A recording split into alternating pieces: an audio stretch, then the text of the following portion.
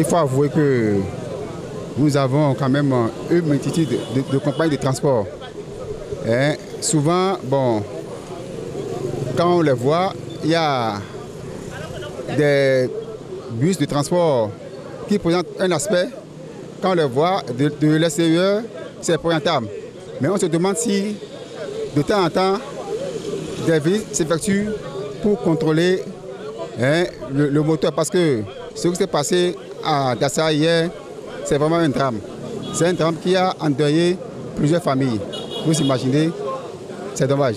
Ce qu'il faut faire, l'occasion de faire le larron, maintenant que un pareil euh, acte s'est posé, il faut maintenant que, enfin, que les autorités prennent en charge ce dossier. C'est-à-dire, il faut, il faut passer de compagnie en compagnie pour mieux contrôler leur mode de fonctionnement. C'est très capital. Il faut, il faut aller de compagnie en compagnie, rencontrer ceux-là qui sont les responsables et essayer de revoir un peu.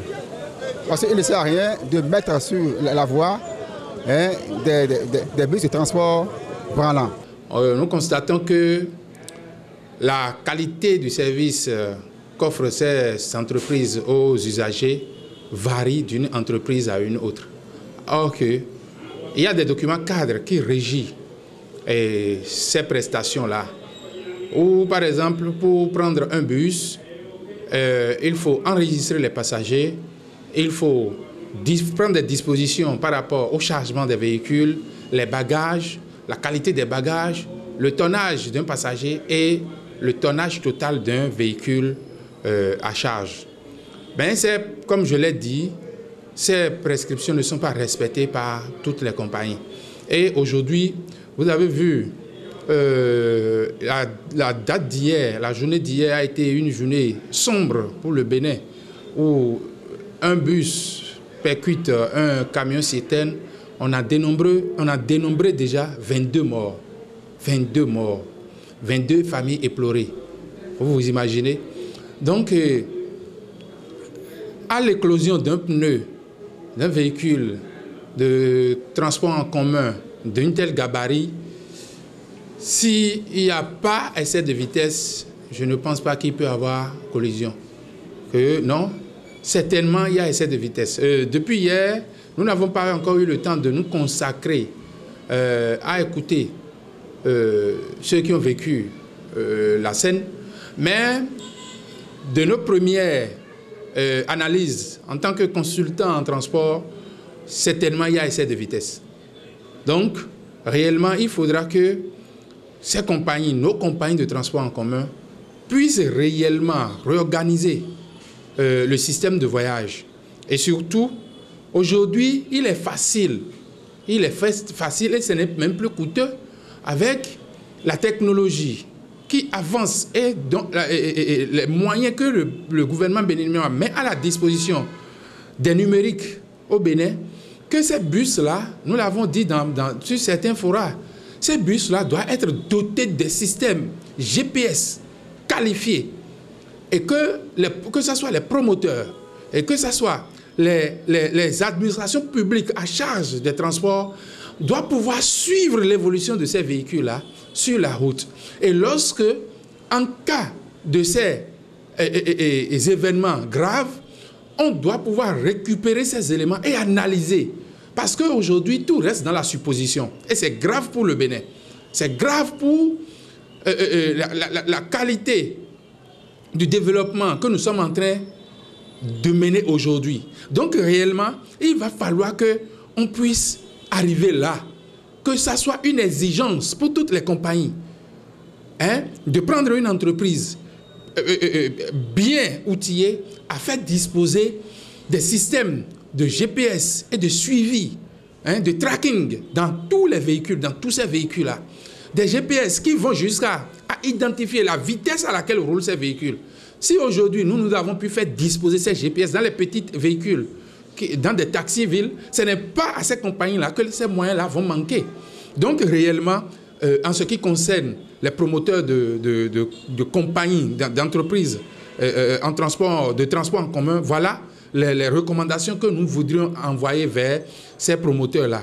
En ce qui concerne le gouvernement, le gouvernement central surtout, voyez-vous, comme je l'ai dit hier dans une causerie, tout ce qui a rapport avec le transport aujourd'hui en République du Bénin, nous, constatons que c'est mieux au second plan. Hein? Ce n'est pas, euh, euh, pas prioritaire pour le gouvernement.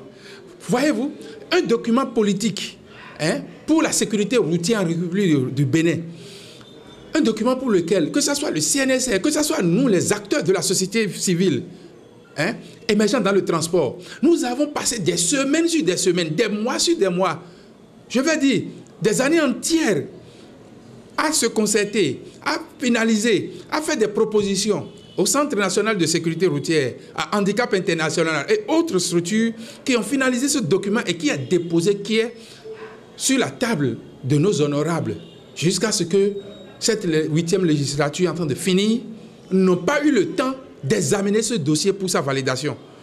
il y a également le dossier, hein, le, le document, la loi qui enregistre le transport en République du Bénin, qui date de 1952 ou 1954, qui est caduque, où nous avons mené la direction des transports terrestres avec l'appui de Enabel.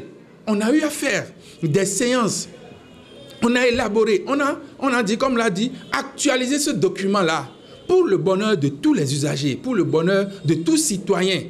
Mais ce document, euh, qui doit être validé en Conseil des ministres jusqu'à la date d'aujourd'hui, n'a pas une suite. il faudrait que le transport, c'est un secteur à haut risque, c'est un secteur vaste. Et lorsque il n'est pas encadré, lorsqu'il n'y a pas de décisions fortes qui sont prises, lorsque ce n'est pas suivi, c'est de tels dégâts qu'on constate. Et je profite de l'occasion pour demander encore au gouvernement de mon pays d'être plus sérieux et sincère dans ce domaine-là, puisqu'il s'agit des Béninois qui partent en fumée comme ça. Donc, d'être plus sincère. Le directeur du transport public, quel est son rôle? Le directeur de la CNSL, quels sont les garde-fous qui sont en train de mettre pour que cela ne répète plus? Aujourd'hui, nous il y a des morts, on a dépêché des ministres, mais cela ne suffit pas. Donc, je vais demander à son excellence de tout faire pour faire des enquêtes sur ce dossier-là et de déclarer. Puis, il est bien vrai, le transport aujourd'hui, ça, ça aide beaucoup les gens pour ceux qui vont au nord, pour ceux qui quittent le nord pour le sud. Ils font beaucoup de travail, mais le gouvernement doit se prendre ça là au sérieux. Et dans les bus, il faut les exiger. Il doit avoir, des codes, codes chauffeurs, comme oh, dans l'avion il y a des codes pilotes, il doit avoir des codes chauffeurs, quelqu'un qui, chauffeur qui doit rester à côté de l'autre. Au cas où l'autre veut dériver, ah, il faut dire attention, qu'est-ce qui va passer Il peut le changer, comme il est fatigué, il peut le changer. Mais on ne sait pas quel genre de contrôle ils font et toujours c'est des morts. Donc ils n'ont qu'à prendre ça, cela au sérieux. Sincèrement, cela Sinon, ça ne va pas.